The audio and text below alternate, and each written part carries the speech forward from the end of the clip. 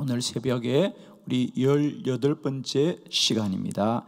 제 18장 기도가 응답되는 과정 사도행전 16장 15절로 13절로 15절 여러분 가지신 교환 78쪽이 되겠습니다. 자, 우리 한 절씩 말씀을 봉독하고 오늘 말씀을 보도록 합니다. 13절 안식일에 우리가 아, 기도할 곳이 있을까 하여 문밖 강가에 나가 거기 앉아서 모인 여자들에게 말하는데 두아디라 시에 있는 자색 옷감 장사로서 하나님을 섬기는 루디아라 하는 한 여자가 말을 듣고 있을 때 주께서 그 마음을 열어 바울의 말을 따르게 하신지라. 그와 그 집이 다 세례를 받고 우리에게 청하여 이르되 만일 나를 주 믿는 자로 알거든 내 집에 들어와 유하라 하고 강건하여 머물게 하니라. 아멘. 아멘. 네, 오늘 아침에는 어, 기도가 응답되는 과정 아, 이러한 주제로 함께 예, 말씀을 나누겠습니다. 어, 우리는 우리가 하는 이 기도가 반드시 응답되는 것을 믿기만 하면 우리는 모든 기도에서 승리하게 될 줄로 믿습니다. 어, 저는 어, 기도하는 사람은 많은데 우리가 그 기도의 응답을 누리지 못함으로 말미암아 우리가 기도함에도 낙심하고 어, 넘어지는 안타까움이 많고 어, 우리의 기도가 더 신실하게 어, 세워지지 못하는 그런 아쉬움이 있습니다. 어, 이제 다시 우리가 분명히 아셔야 될 것은 기도는 하나님의 일입니다. 기도는 하나님의 요청입니다. 기도는 응답이 예비되어 있습니다. 기도는 하나님의 뜻이 먼저 있습니다. 그러므로 기도는 반드시 응답됩니다. 기도는 사람의 수고와 노력으로 이루는 것이 아니라 하나님의 일입니다. 하나님이 뜻을 정하시고 우리를 기도의 자리 부르시고 우리를 통한 하나님의 뜻을 이루는 기도는 하나님의 일입니다. 자, 이렇게 기도가 하나님이 하시는 일임에도 불구하고 왜 우리에게 기도 응답이 누려지지 않을까? 어? 그것은 분명합니다. 우리가 하나님의 뜻이 이루어지는 그 시간과 그 뜻이 이룰 때까지 우리가 기도자로 서지 못하기 때문이에요. 기도를 시작하지만 이내 실망하고 낙심하고 기도를 포기하게 됩니다. 자, 오늘 저는 우리는 어떻게 하면 하나님이 시작하신 이 기도를 하나님이 이루시는 그날까지 우리가 믿음으로 순종하며 나아갈 수 있느냐? 그것은 기도가 응답되는 과정을 바르게 알면 된다는 거죠. 우리가 세상에서도 똑같은 일을 하더라도 그 일이 똑같은 일이라도 그 일이 되어지는 과정을 잘 이해하고 바르게 수행하면 훨씬 더 그 일을 잘 할 수 있습니다. 그와 같이 기도도 마찬가지입니다. 이제 우리는 기도는 사람이 하지만 그 기도를 통하여 일하시는 분은 하나님이시고요. 이제 우리는 하나님 안에서 일어나는 일들을 아셔야 됩니다. 사실 그동안 우리 기도하면서 어, 내가 기도를 많이 하고 열심히 한 것으로만 우리는 늘 주장을 하는 거예요. 내가 이렇게 기도를 열심히 했는데 오래 했는데 최선을 다했는데 진심으로 했는데 라는 것만 아는 거예요. 그 다음에 뭐라 해야 됩니까? 우리보다 훨씬 더 열심히 일하시는 하나님을 알아야 되거든요. 그건 도무지 알 길이 없는 거죠. 도무지 알 길이 없는 거죠.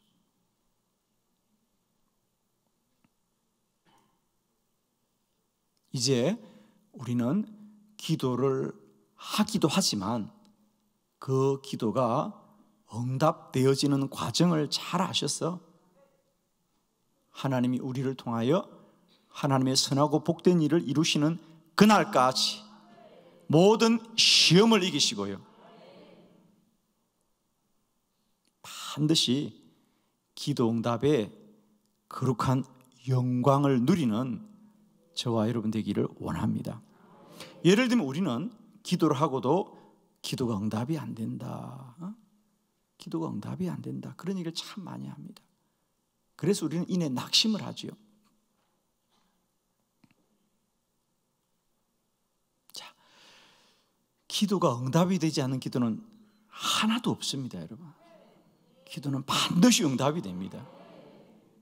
다만 우리가 그것을 바르게 알지 못할 뿐이에요. 자, 이제는 꼭 기억합시다. 우리가 기도하면 기도가 이루어지는 과정이 있다는 거죠. 어, 그 과정을 통해서 기도는 열매 맺게 되는 거죠. 오늘 어, 사도행전 16장도 그렇습니다. 어, 원래 이 기도를 시작한 동기는 사도 바울이 내가 아시아로 가서 복음을 전해야 되겠다. 그래서 하나님 그 길을 인도해 달라고 열심히 기도합니다. 그런데 성경은 분명히 말합니다. 예수의 영이 허락하지 않더라. 그래서 또 비두니아로 가게 해달라고 기도를 하는데 성경은 분명히 말합니다. 예수의 영이 허락하지 않더라. 사실은 그 기도가 응답되지 않은 원인은 예수의 영이 허락하지 않았기 때문입니다만은 그것의 현상은 뭐죠? 길이 열리지 않은 거예요. 그래서 성경학자들은 바울이 몸이 아파서 가지 못했다 이렇게 어, 설명하는 분들도 있습니다. 어쨌든 사도 바울이 생각하기에 자기가 아시아로 가서 복음을 전하려고 하는데 갈 수 있는 여건이 되지 않았다는 거예요. 예수의 영이 가지 말라고 말한 게 아니고요. 어떤 현상과 사실이 자기 생각대로 이루어지지 않았는데 성경은 말하기를 그것은 현상일 뿐이고 실상은 예수의 영이 막았다는 뜻이죠. 그러나 감사한 것은 보통 사람 같으면 여기서 낙심을 합니다. 포기를 합니다. 그런데 사도 바울은 낙심하지 않고 더 기도하고 더 기도하고 더 기도하자. 마침내 기도 중에 환상을 보기를 마게도냐라 건너와 우리를 도라 환상을 봅니다. 자, 마게도니아는 아시아 땅이 아닙니다. 자, 여기서 말하는 아시아는 오늘 우리로 말하면 우리가 아는 지도로 말하면 터키를 말합니다. 마게도냐는 터키와 바다를 건너서 그리스 땅을 말합니다. 아시아 대륙과 유럽 대륙의 차이죠. 그러니까 사도 바울은 지금까지 이 바다를 그의 마음속에 건너지 못했어요. 그냥 이 아시아 대륙에서만 열심히 복음을 전해야 됐다고 생각하는데 하나님은 아시아를 뛰어넘어서 전 세계로 주의 복음이 전거되기를 원하셨어. 아시아로 가겠다고 비두니아로 가겠다는 바울의 기도를 막으신 겁니다. 그리고 마침내 바울은 기도가 막혔기 때문에 포기한 것이 아니라 더 기도하고 더 기도하자.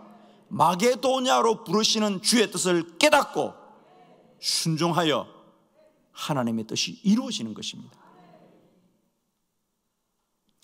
여기서 보통 사람들은 아시아로 가는 길도 예수의 영이 허락하지 않고 비두니아로 가는 길도 예수의 영이 허락하지 않으면 아, 이 기도는 응답이 안 되는구나라고 낙심을 하는데 바울은 그럼에도 불구하고 더 기도하고 기도하기를 쉬지 않았더라는 거죠.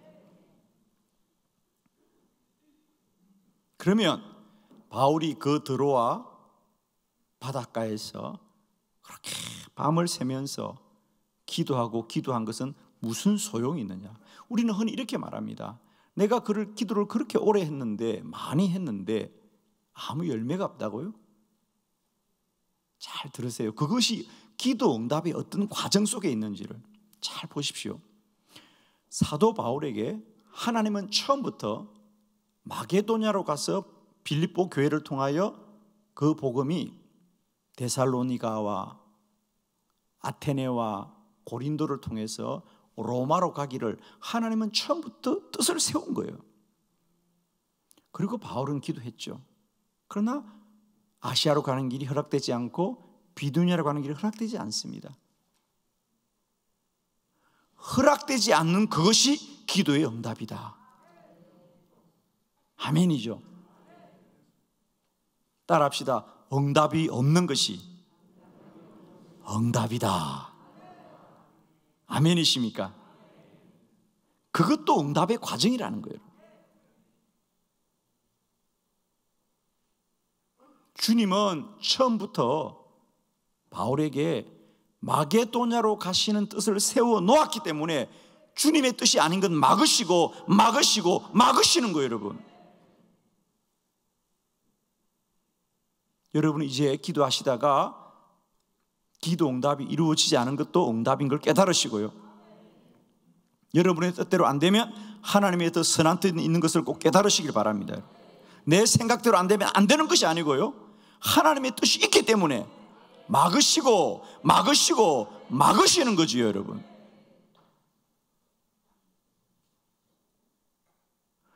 한나의 기도도 마찬가지잖아요. 한나가 아이를 달라고 그렇게 기도하는데 성경은 말합니다. 하나님이 임신을 허락하지 않더라 그래요. 하나님께 아이를 달라고 기도하는데 성경은 분명히 말하잖아. 사무엘상 1장에 보면 하나님이 임신을 허락하지 않더라는 거예요.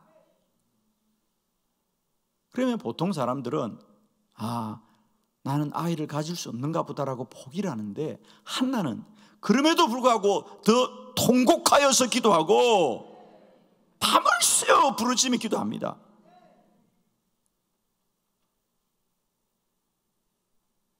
그 기도의 응답의 과정을 통하여 어떤 일이 벌어집니까? 그렇습니다. 마치 사도 바울이 아시아로 가고 비두니아로 가려는 자기의 생각을 내려놓고 마게도냐로 오게 하는 주의 뜻을 깨달아 순종하듯이 한나에게도 마찬가지입니다. 아이를 갖고 싶은 자기의 욕심을 내려놓고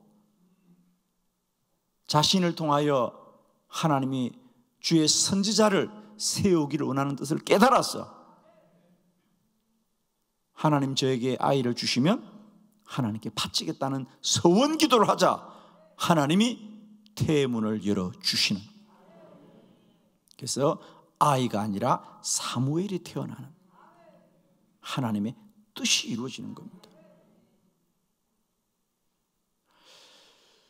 여러분은 여러분이 어떤 기도의 뜻을 세우고 기도할 때 때때로 나의 기도가 이루어지지 않는 그 속절없는 시간을 안타까워하지만 저는 기도하는 여러분을 바라보면서 저는 이해합니다. 여러분은 그냥 내 기도의 시간이 흐르고 흐른다고 생각하지만 하나님은 그 흐르는 시간 속에도 일하고 일하고 일하셔서 여러분을 영적으로 성장시키고 하나님의 뜻에 가깝게 가게 하는 거죠.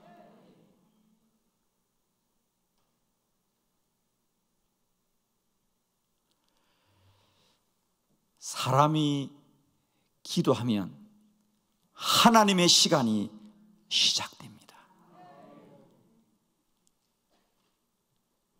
우리가 기도하는 그 순간부터 하나님의 시간이다. 하나님이 일하십니다. 이제 우리가 말씀을 통하여 기도할 때 우리의 현상과 사실이 달라지지 않는 것 같아도 하나님은 그 시간 속에서 일하고 일하고 일하심을 우리가 깨닫는 은혜가 있기를 원합니다. 자, 오늘 사도 바울 그는 아시아로 가고 비두니아로 가기를 원하여 기도했지만 예수의 영이 허락하지 않고 허락하지 않고 마침내 마게도냐로 건너와 우리를 도우라는 주의 음성을 듣고 드디어 그가 이제 아시아에서 유럽으로 건너갔습니다. 그리고 처음 그 마게도냐 오늘로 말하면 그리스입니다. 그곳에서 빌립보라는 교회에 처음 이제 교회를 세우고 복음을 전하는 그 과정을 오늘 성경이 말하고 있습니다. 그래서 이제 사도행전 16장부터 시작되는 유럽 대륙에서 어떻게 주님이 복음을 전하고 교회를 세우면서 바울을 로마에까지 이르게 하는지 그 과정이 사도행전 16장부터 28장까지 과정이죠. 저는 축복하기는 다시 한번 우리가 기도는 사람이 하되 그 사람을 통하여 하나님이 어떻게 응답의 과정을 역사해 가는지를 우리가 함께 깨닫고 이제부터 우리의 기도 속에도 기도 응답의 과정이 있음을 꼭 기억하시고 낙심하지 마시고 더욱 신실한 기도자로 승리하시기를 축원합니다. 자, 오늘 여러분 가진 교환을 보시면서 세 가지 사람이 기도할 때 하나님은 어떤 과정을 통하여서 응답하시는지 말씀을 보겠습니다. 자, 여러분 가지신 교환 79쪽부터 말씀을 보도록 합니다. 첫 번째, 우리가 사람이 기도하면 주님이 생각을 주장합니다. 사람의 생각을 주장하여서 응답하십니다. 사도행전 16장 13절 다 같이 합독합니다. 시작. 안식일에 우리가 기도할 곳이 있을까 하여 문밖 강가에 나가 거기 앉아서 모인 여자들에게 말하는데 아멘. 아, 이제 바울이 어, 이 마게도냐 땅에 왔습니다. 실상은 바울은 처음부터 빌립보를 가야겠다고 생각한 건 아니잖아요, 그죠? 왜 마게도냐에 가나에서 바울은 아무런 생각이 없는 사람입니다. 그는 오직 아시아와 비두니아의 복음을 전할 자신의 계획은 철저하게 세웠었겠죠. 그런데 주님이 마게도냐로 건너와 우리를 도라는 환상을 보게 될 때 바울은 오직 그 말씀만을 믿고 이제 아시아에서 이제 유럽으로 건너갑니다. 음. 그때부터는 철저하게 하나님의 시간이 시작되는 거죠. 그래서 그가 이제 마게도냐에 갔습니다. 그러면 그리스란 땅이 얼마나 큰 대륙입니까? 그럼 거기 어느 곳에가 복음을 전하느냐? 쉽게 말하면 미국의 어느 선교사가 물론 선교사가 아니겠죠. 처음에는 청년이었겠죠. 그것이 아펜젤러나 은두우드 같은 그 당시 20대 청년들입니다. 그들이 미국에서 기도하는데 조선 땅에 복음을 전하는 하나님의 거룩한 마음을 품고 그들이 무턱대고 조선에 올 때 그들이 이 조선이란 나라를 어디로 오겠습니까? 부산으로 올 수도 있고 평양으로 올 수도 있고 어디든지 올 수 있는데 그들은 인천으로 왔단 말입니다. 마치 그와 같은 거예요. 바울이 마게도냐로 오라고 하는 주의 말씀을 깨닫고 가는데 어디로 가냐는 거죠. 그래서 그가 마게도냐를 갔다가 이제 내륙으로 올라가기 시작합니다. 그러다가 왜 빌립보에 머물게 되었느냐? 그날이 안식일이었다는 거죠. 안식일에 그러니까 하루를 쉬어야 될 거 아닙니까? 그는 마게도냐기 때문에 머무른 것이 아니라 마침 그날이 안식일이기 때문에 이 빌립보에 머무른 겁니다. 그리고는 오늘은 안식일이니까 내가 하나님 앞에 더 기도해야 되겠다. 그래서 보통은 회당을 찾습니다. 그죠? 아시아에 가면 회당이 많이 있는데 이 유럽에는 회당이 없습니다. 그래서 그가 조용한 강가를 찾아갑니다. 그래서 기도할 곳이 있을까 하여 강가로 나가더라. 생각을 그렇게 한 겁니다. 바울의 생각에 아, 오늘은 안식일이니까 오늘은 하루 여행을 멈추고 쉬면서 하나님 앞에 기도해야 되겠다. 그리고 강가로 갔더라. 그런데 그는 혼자 기도하려고 강가를 갔는데 가보니까 거기에 사람들이 모여 있더라는 거죠. 그의 생각은 기도하러 갔는데 가보니까 사람들이 모여 있어서 복음을 전하고 복음을 전하는 사람 중에 루디아라는 여인이 은혜를 받았더라. 그리고 그가 바울의 일행을 자기 집에 청하여 저희 집에 머물라고 청하였다는 거예요. 그래서 그 루디아의 집에서 빌립보 교회가 세워집니다. 그러면 여러분 바울은 안식일이니까 조용한 강가에 가서 기도해야 되겠다고 생각을 하였지만 주님은 처음부터 그곳에서 루디아를 만나게 하고 루디아를 통하여 빌립보 교회를 세우려는 주의 뜻은 처음부터 있었던 거죠. 그러면 바울이 내가 강가에 가서 기도해야 되겠다는 생각조차도 주님이 주장하신 거죠. 주님이 주장한 겁니다.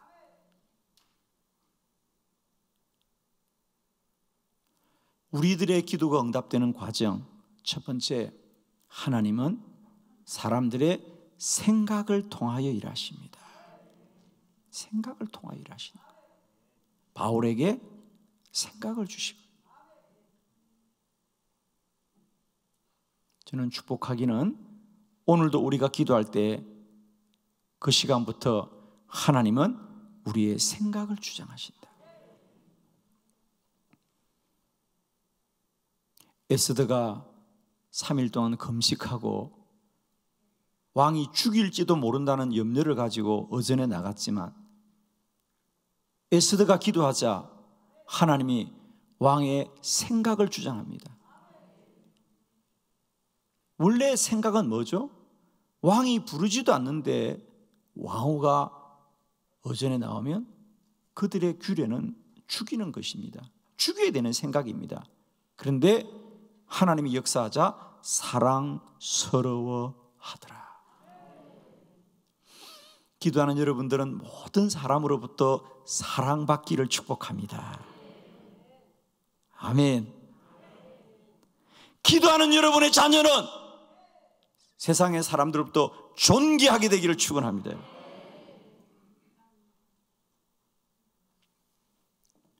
기도하면 하나님은 사람들의 생각을 주장하여서 응답하실 줄 믿습니다.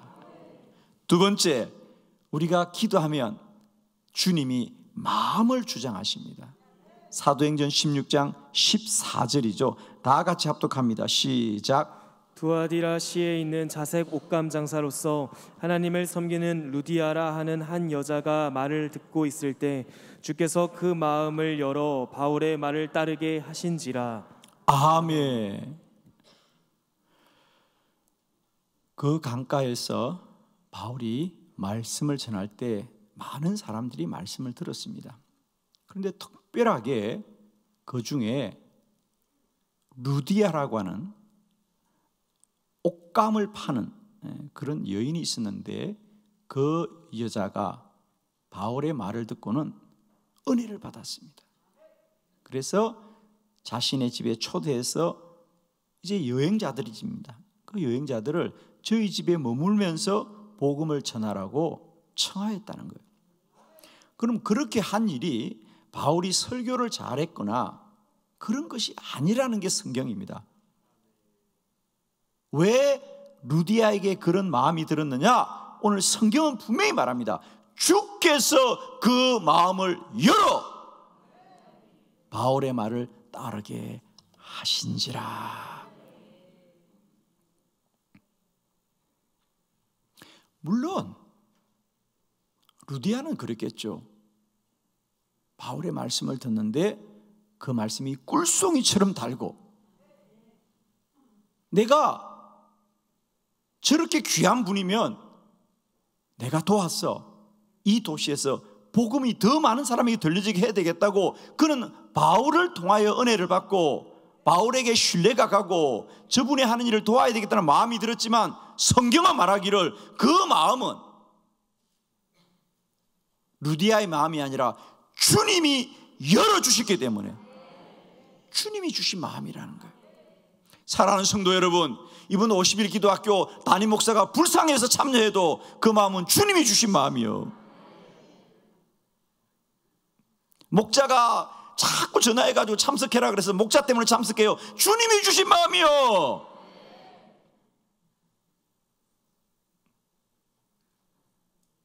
우리가 새벽 기도 쉽게 나올 수 있는 사람이에요, 여러분? 우리가 새벽 기도를 이렇게 쉽게 나올 수 있어? 주님이 마음을 열어 주셨어. 이만큼이라도 나온 거예요, 여러분. 더 기도하면 더 많이 열어 주실 겁니다. 할렐루야.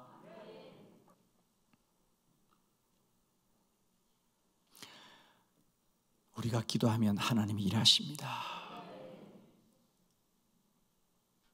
바울이 주의 복음을 증거하려고 뜨거운 마음으로 기도할 때 하나님은 그 종의 마음을 통하여 그 역사하실 때 그가 만날 때마다 선하고 복된 협력자와 많은 돕는 자를 세워주시는 하나님의 역사는 주님이 그들의 마음을 열어주시기 때문에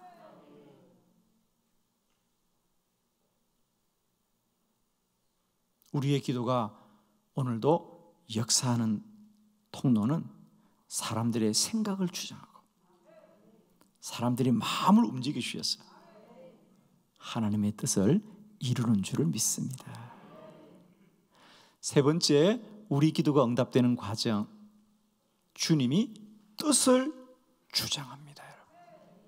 사도행전 16장 15절 다 같이 합독합니다. 시작.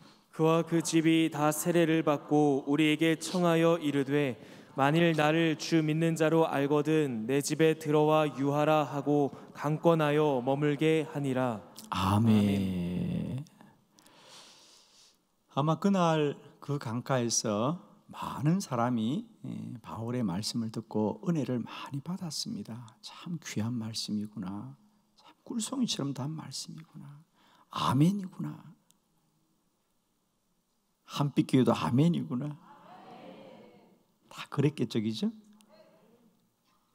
그런데 그리고 다 돌아갔어요, 여러분.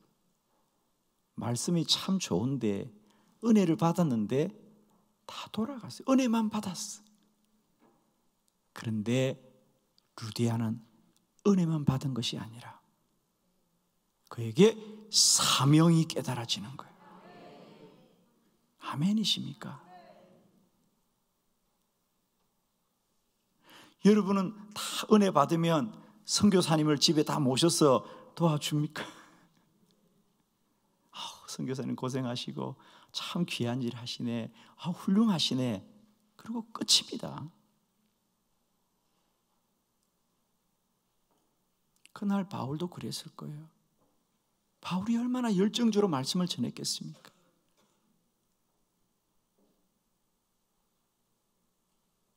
그런데 놀랍게도 루디아는 그 말씀이 끝나도 자리를 일어날 수가 없어요. 그래서 그가 바울을 찾아가서 말합니다. 나를 주 믿는 자로 알거든. 내 집에 들어와 유하라 하고 강권하여 머물게 아니라 그저 지나가는 말로 한 게 아니에요. 강권하여서 우리 집에 머물면서 이 도시의 복음을 전하여 주십시오. 이천 년 전에 루디아가 했던 일은 지금도 그는 죽었지만 그가 살았던 그곳에 교회가 세워져 있습니다. 저는 오래전에 이 빌립보를 방문한 적이 있었고 이 빌립보에 가서 루디아가 청하여 바울의 일행이 머물렀던 집을 가보았고 그곳에 지금도 루디아는 죽고 없지만 루디아의 아름다운 믿음은 교회로 남아 있습니다. 루디아 기념교회라고.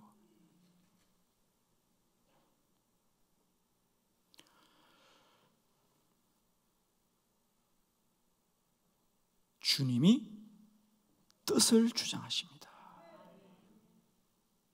뜻을 주장하십니다. 내가 저 사도를 도와야 되겠다. 더 많은 사람이 복음을 들어야 되겠다. 뜻을 정하게 합니다.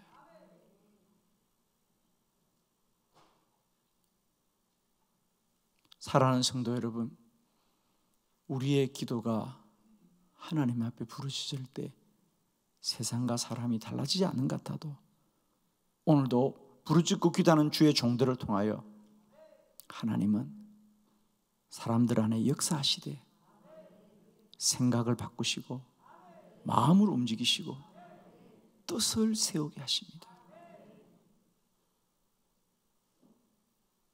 축복하기는 오늘도 우리는 기도하되 세월이 속절없이 흘러가는 것처럼 보이고 때로는 우리의 기도가 허공을 외치는 것 같아도 하나님은 일하십니다.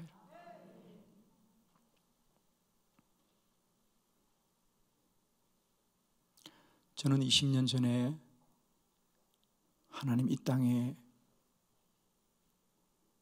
기도의 불을 밝히게 해달라고 기도하고 이 땅에 기도하는 교회를 세워달라고 기도하고 이 땅에 기도의 동역자를 세워달라고 눈물로 기도했고 그러나 나의 현상과 사실은 하나도 달라지지 않은 것 같았습니다. 저는 밤마다 혼자 빈 성전에서 그럼에도 불구하고 기도하고 기도하였고 마침내 이 땅에 500개 넘는 많은 교회들이 기도학교 사역으로 기도의 거룩한 숲을 이루어가고 있습니다. 한빛교회 이 놀라운 기도의 붕을 볼 때마다 저는 늘 감사합니다. 기도는 죽지 않습니다, 여러분. 죄송한 건 여러분을 새벽에 나올 수 있도록 마음을 갖게 한 건 제가 20년 전에 기도해서 그래요, 여러분. 용서해 주세요, 여러분.